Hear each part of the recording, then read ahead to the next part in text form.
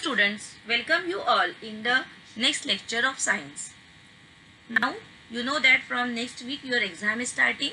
So, today we are taking revision. I am taking the revision lecture.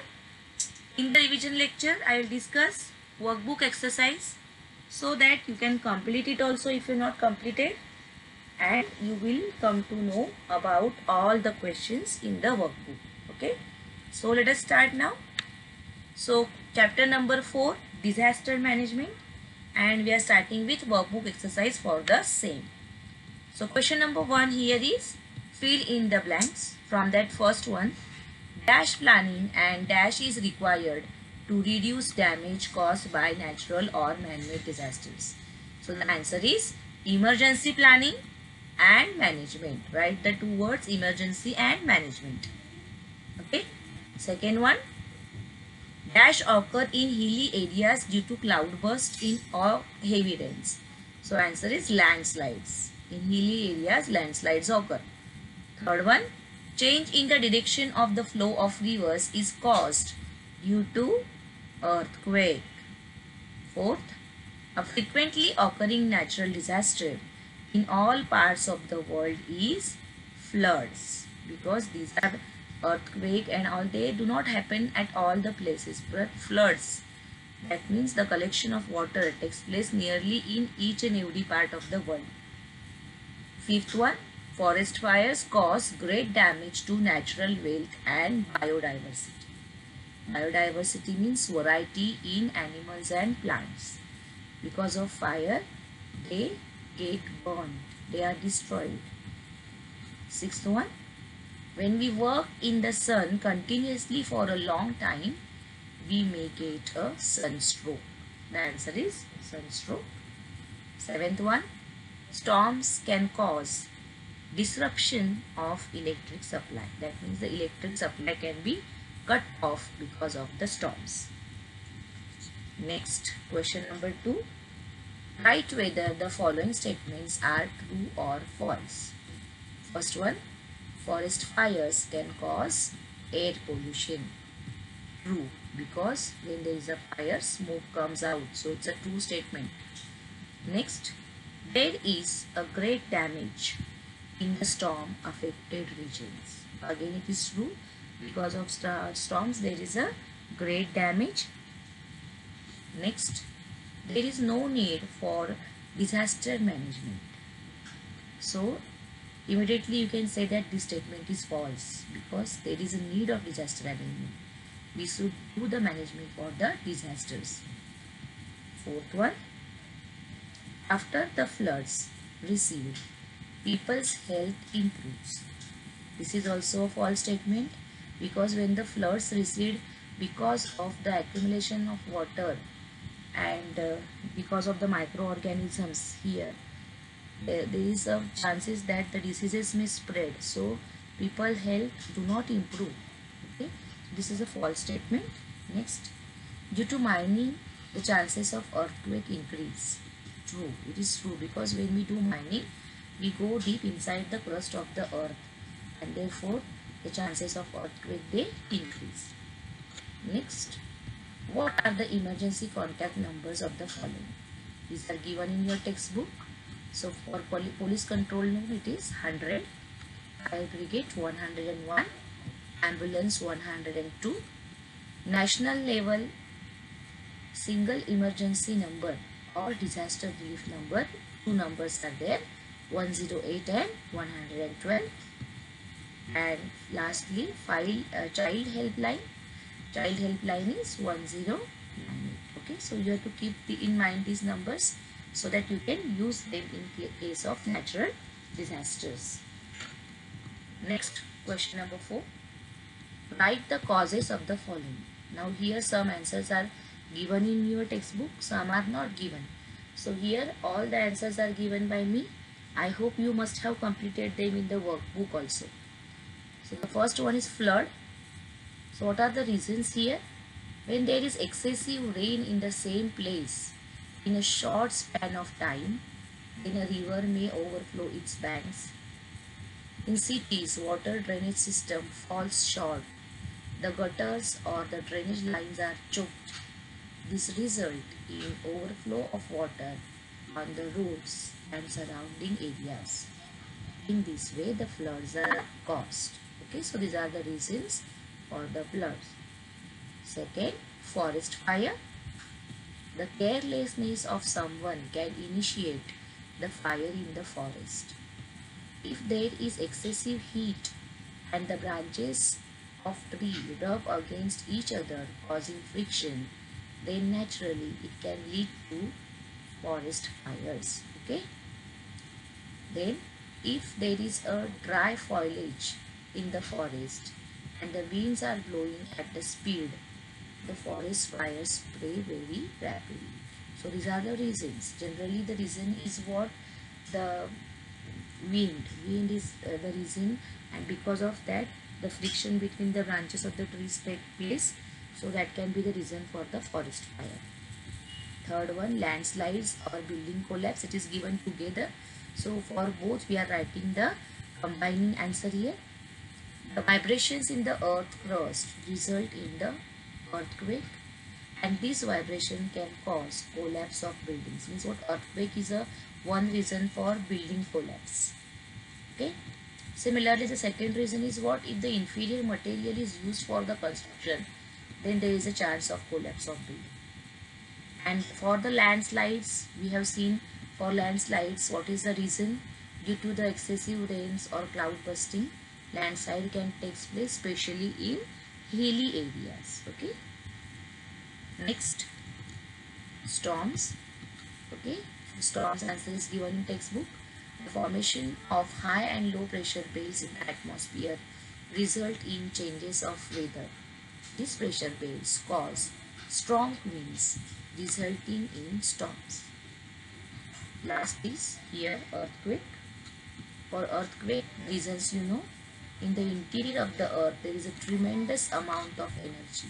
You know that the interior part of the earth is in the liquid state and continuously there are movements so there is a tremendous energy and this energy result into the seismic waves and this causes movement of earth surface in the form of tremors, shaking and cracking. The vibration caused due to all these movement result into the earthquake. Okay. Then next question, question number 5. What first aid will you provide in the following situation? The answers are given in textbook. First one is dog bite. So whenever there is a dog bite, you should clean the wound caused by the dog bite. It should be washed with soap and you should clean it with the germ-free water. Then you should rinse with the solution of potassium permanganate. Okay.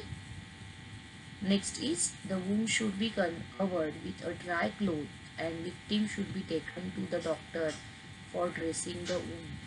Injection of anti-rabies should be given to the victim because you know that rabies is a deadly disease. So the anti-rabies injection should be immediately given to the victim. So these are the first aids you can do in case of dog bite. Second is scratches or bleeding. If you get hurt somewhere and if the bleeding is there, what you are, you are going to do? The very first thing to be done in case of bleeding is to stop it. Means what? We should try to stop the bleeding. Like we apply the turmeric immediately. We know that turmeric helps to stop the bleeding. So what we can do here is we have to make that person sit or lie down comfortably and the bleeding part should be cleaned with germ-free water and it should be kept above the level of the heart so that the flow of the blood will be will be less there okay? Uh, we should stop that flowing of blood. So it should be kept above the heart because you know that circulation of uh, blood takes place through heart only. So if we are keeping that part above the level of the heart it can help to stop the bleeding. Then next apply antiseptic cream to the wound. If the wound is deep rush to the doctor to stitch it and get proper care. Because if the wound is deep the blood is not going to stop. And because of the loss of the blood the condition can become fatal. So immediately we should rush the patient to the hospital if the wound is deep. Next is burns or scars. So burns can be serious, they can be uh, light also, means they are they may not be so severe. So what you should do in case of burns and scars? So first of all, you should try to understand the severity of the burning. That what we should see that what uh, what is the extent and severity of the burning. If it is not that severe, we can treat the patient at home also. But if the burns are severe, we have to go to hospital immediately. So for minor burns, we can immerse the burn part into the cold water. Then we can give cold water to drink to the victim. Then we can clean the wound with germ-free water and we can apply antiseptic solution here. But here in case of burns, we have to keep in mind that oily ointment should not be applied. Okay, because that uh, because of oily uh, uh, ointments the heat gets trapped inside the skin only. So we should not apply oily ointments and if there are serious burns we have to give emotional support to that patient or victim and we should seek the medical treatment immediately. Next is, next is snake bite. You know that out of the snakes available here or which are there on the earth very less snakes are venomous. Means they are poisonous. Most of the snakes are non-poisonous okay? So here we don't understand uh, by seeing whether the snake is poisonous or not. So what we should do in that case in, in case of the snake bite also we should wash the wound with water and we have to tie a tourniquet means what? We have to tie a cloth strip near the wound in such a way that the venom of the bite should not reach to the vital organs. Means what? We should try to slow down the spread of the poison in the body then the victim should be given the emotional support and immediately the victim should be taken to the hospital. And immediately he should be given anti-venom injection.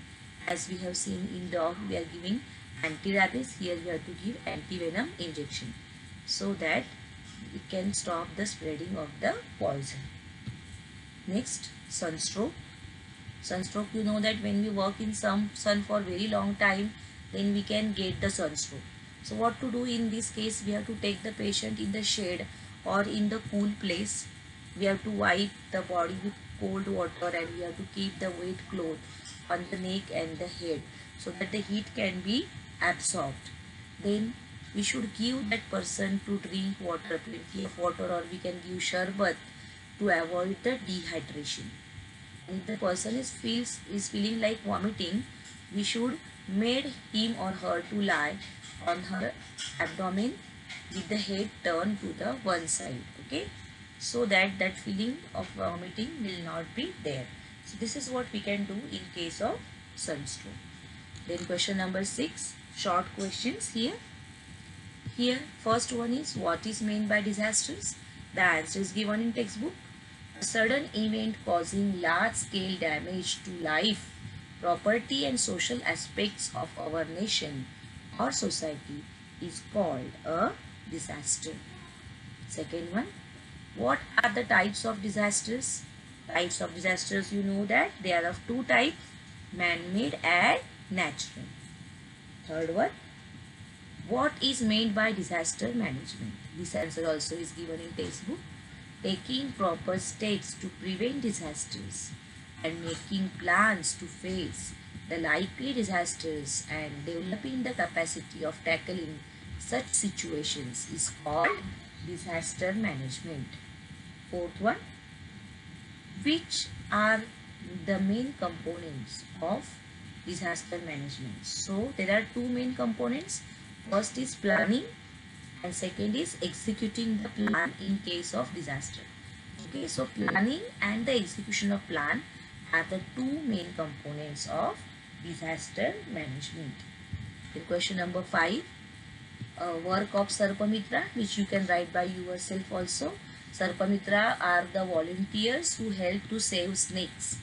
If people come across any snake in their vicinity, they usually kill even before they come to know about its toxicity. As I said that very less snakes are toxic here or poisonous but still people have the tendency to kill the snakes as soon as they see them.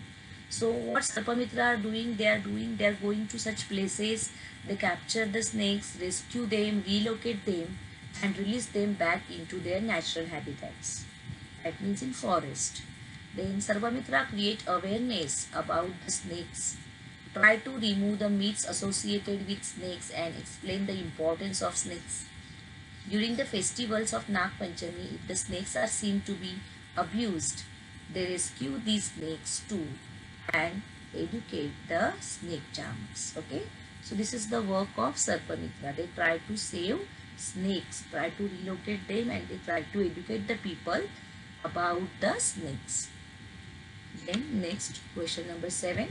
Write down the effects of the following disasters. So here also some effects are given in textbook. Okay. First is earthquake. Because of earthquake there is a large scale damage of life and property. Second is building collapse due to tremors and vibrations in earth's crust. Third is direction of flow of river can be changed. Rivers can be changed. This is mistake here. Please note that. Destruction of infrastructure such as buildings, bridges, roads and railway tracks. Okay, so these are the effects of earthquake. Because the structure of the land is changing because of the earthquake. That is why all these things are happening. Second is floods. Then because of floods there is a huge loss of property and life. Then erosion of soil takes place because the soil blow away with the water. It goes away with the water standing crops are destroyed.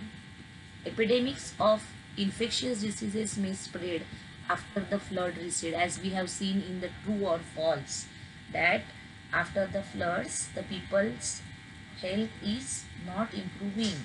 It is creating the health problem because of the infectious diseases epidemics correct? Next is storm the low-lying areas and the coastal areas face lot of destruction you know that storms means it is very strong winds they are. So they uh, give they because of that there is a lots of destruction which is taking place. Life and property is damaged electric supply get disrupted transport and communication is affected trees and crops are uprooted because of the strong winds and peoples are stranded in one place they get stuck in one place Next is forest fires. The forest cover is reduced to ashes because of fire.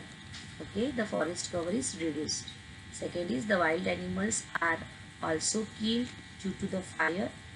Biodiversity is tremendously lost. Means what variety of animals and plants, uh, plants they are lost. Surrounding human settlements are too destroyed because of the fire and the uh, most important effect is air pollution because of the smoke coming out of the forest there is the air pollution then the next are open-ended questions which are very big and here the answers you can write by yourself also okay? So from that the first one is what disasters can occur in school or on the way to school? When i taught the lesson I discussed all this that when you come to school we can we have to be very careful especially when crossing the road because carelessness can lead to the accidents then next while commuting in the school bus we may get injured. Or if we don't follow the certain uh, discipline there. That means what if bus was standing unnecessarily and if the sudden brakes are applied then you can fall also. So there are chances of accidents here also.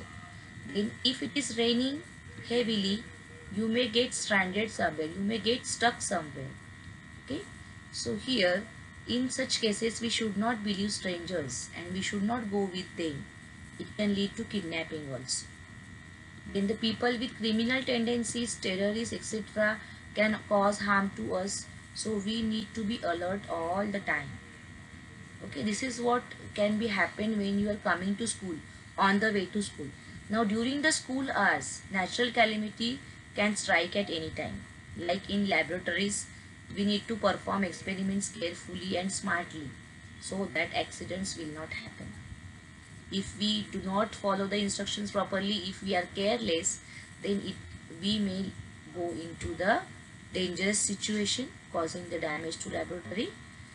Also, we can get injured on the playground. This is what can happen in school okay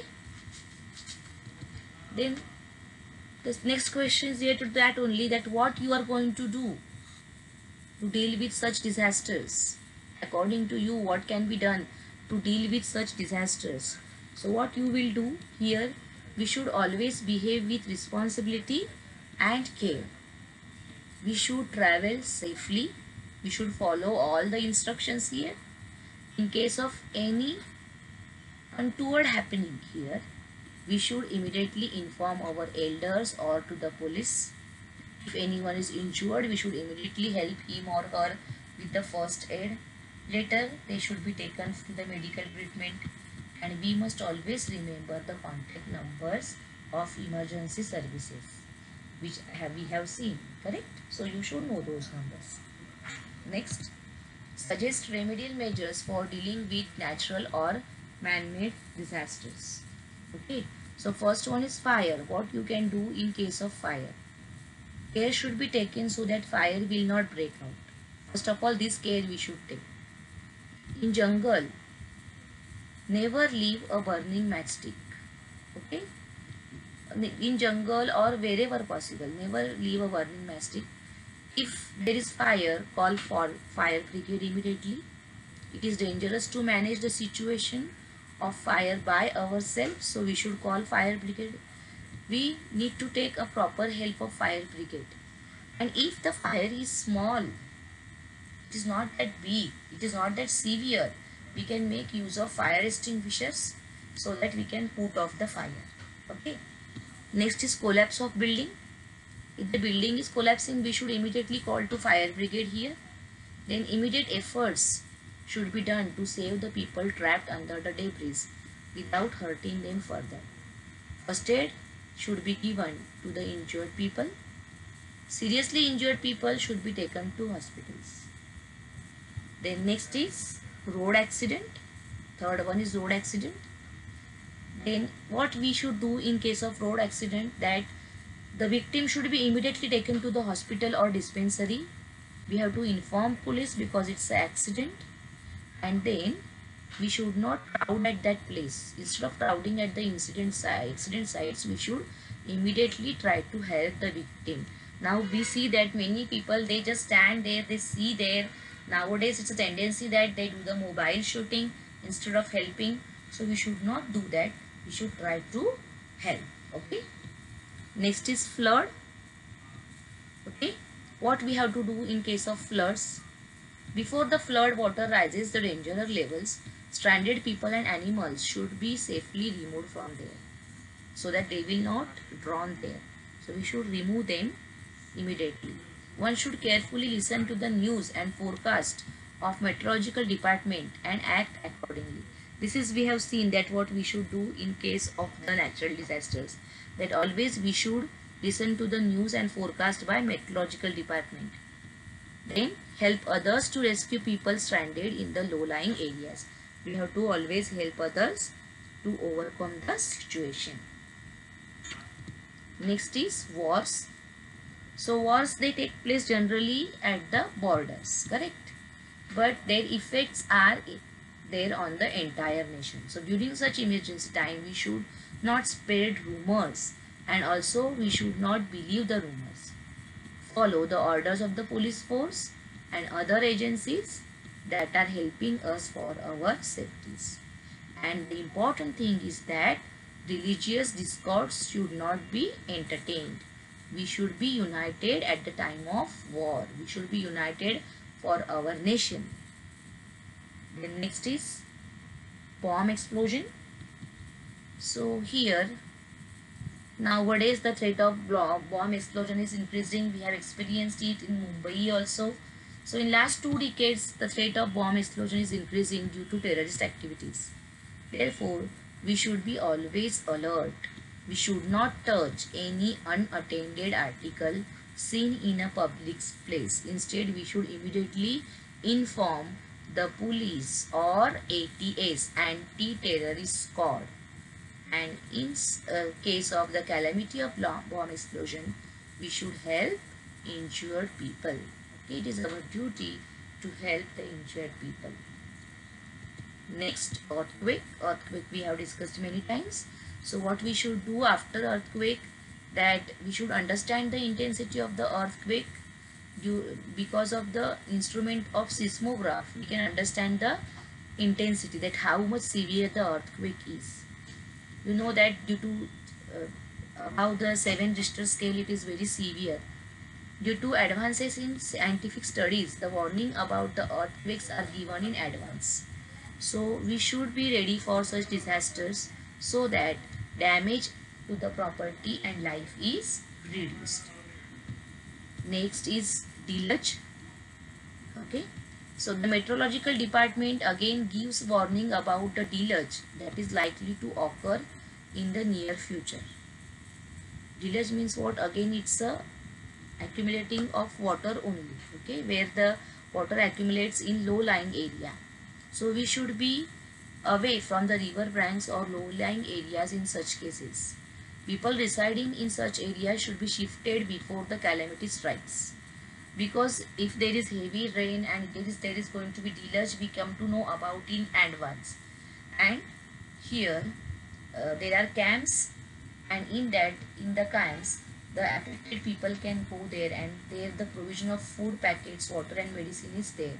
So the people they can be safe there. So people residing in the low-lying areas should be shifted to such camps. Then the next is storm. So here also from the meteorological department we can get the advance warning about the storms. So it can be given to the people before the calamity strikes. Then in storms if the large trees are uprooted okay so we should take care that uh, we should not take shelter near such trees or poles. Also the electric supply can be disrupted.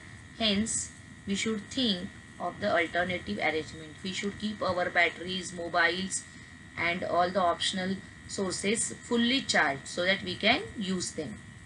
One should remain in safe places in case of storms next is tsunami see the waves of tsunami can cause great damage especially to the coastal regions and on the islands. Therefore, to avoid such areas and one should go to the safer place. Here also the warning of tsunami can be given in advance by the meteorological department.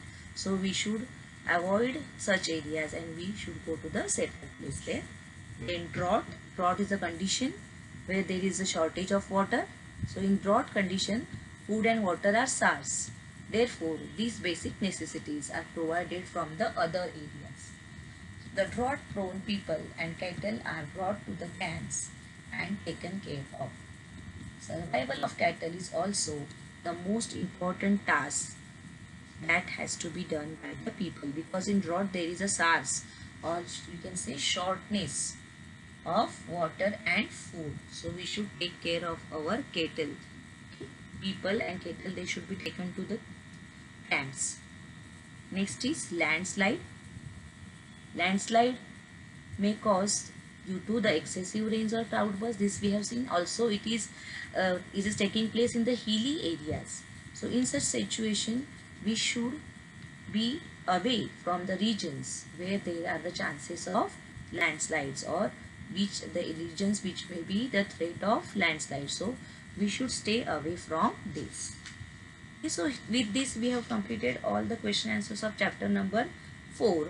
Now let us discuss some questions from chapter number 5 so that in the next lecture I can discuss remaining questions from chapter number 5 and question number 6. Okay, so next is chapter number 5 substances in the surrounding their states and properties. Okay, so the first question here is fill in the blanks. First one characteristic properties of substances depend on its physical state and the arrangement of particles in it properties. Characteristics properties are because of the physical state and the arrangement of properties. Second one, solid state has a definite shape of cone. You know that liquid and gaseous state is not having a definite shape. Only hmm. solid state is having a definite shape. Third one, nowadays digital thermometers are frequently used. The correct answer is digital. Fourth one, water is continuously evaporating. at all the temperature water is evaporating means what converting from liquid state to gaseous state. Fifth one solid carbon dioxide is called dry ice. Okay. Sixth one ability to return to its original shape is called as elasticity. The property of substance called as elasticity. Seventh one metals like gold can be drawn into wires due to the property of ductility. You know that ductility means drawing into wires and malleability means what? We can make a thin sheets. These are the properties of metals. Then second question where there is one word wrong and you have to correct that word. First question is boiling of water means sublimation. So that sublimation is the wrong word. In place of that you are going to write ebullition. Correct? Next, each substance has a specific condensation point which is same as melting point. So again here the word condensation is wrong. Replace it by freezing point because you know that freezing point and melting point is same. Next, sand is melted to make wax. So wax word is wrong. Cut it and write down glass there. So sand is melted to make glass. Fourth one, to check whether the white powder is salt or chalk powder, we use the property of hardness as a confirmatory test. So see, hardness is not possible. Which is the property? Solubility. So that hardness word should be replaced by solubility. Fifth one, upon heating the crystals of iodine, they convert into liquid.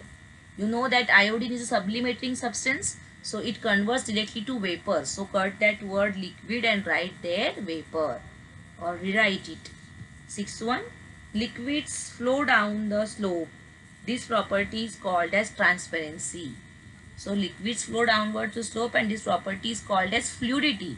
So cut that word transparency and write the word fluidity there. Okay. Then question number 3 which is very easy. You can see the answers here just in front of that particular substance you have to write whether it is solid, liquid or gas. So ball is solid here, water is liquid, breeze means wind it is gas, then rain is liquid, house is solid, clothes are solid, cup is solid and milk is liquid. In this way you can write down all the states here that is solid, liquid or gas. Next is who am I? I am found in thermometer. I measure temperature. You know that we use mercury, in thermometer. So correct answer is what? Mercury. Second, I make things hot or cold. So heat is a factor responsible for the coldness or hotness. So answer is heat. I have no shape whatsoever. So just now we have seen that li liquid and gas they do not have shape. Only solid is having shape. So answer is what? Liquid and gas. I dissolve in water but not in kerosene. The answer is salt. Okay. So in this way we have discussed few questions from the chapter number 5 also. There are more questions but those questions now I will discuss in the next lecture. So students till that time you stay home, you stay here, stay safe and Study for your third online assessment. All of you know the portion, chapter number 4, 5 and 6. Read all the chapters properly. By hearting only the questions from the workbook will not help you. You know that sir, some questions can be asked from the textbook also. So reading will help you. So all of you please keep the habit of reading. Go through all the chapters. Read them once, read them twice and try to understand and study well for your exams. Thank you students.